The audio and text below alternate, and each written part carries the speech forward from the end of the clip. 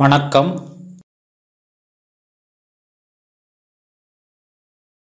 legal tender or legal tender money let us see the specific meaning of legal tender legal tender is anything recognized by law as a means to settle public or private debt or meeting a financial obligation including tax payments contracts and legal fines or damages the national currency is legal tender in every country.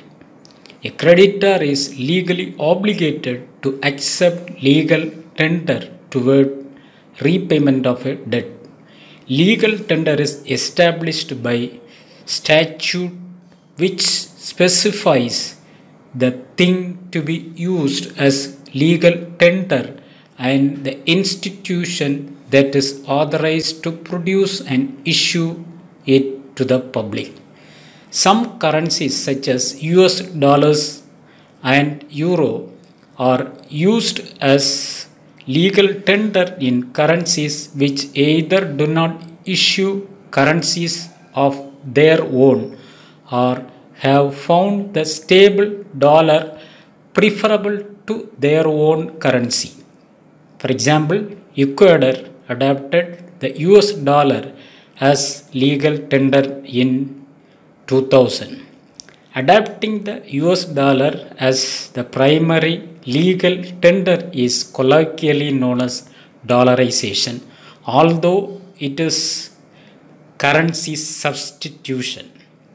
Legal tender serves several purposes a medium of indirect exchange, a unit of account, a store of value, and a standard of deferred payment. There are many online services which accept even cryptocurrencies, and this practice is perfectly legal. Fiat currency is legal tender, which value is backed by the government that issued it. In India, currently, currency notes in the denominations of rupees 5, 10, 20, rupees 50, and 100, 500, and 2000 in Mahatma Gandhi series are currently in circulation. Further, the coins of different denominations in various sizes, themes, and designs are in circulation. In the United States, the recognized legal tender currencies consist of Federal Reserve notes and coins. Creditors are required to accept them as payment offered to discharge a debt except where prohibited by state law.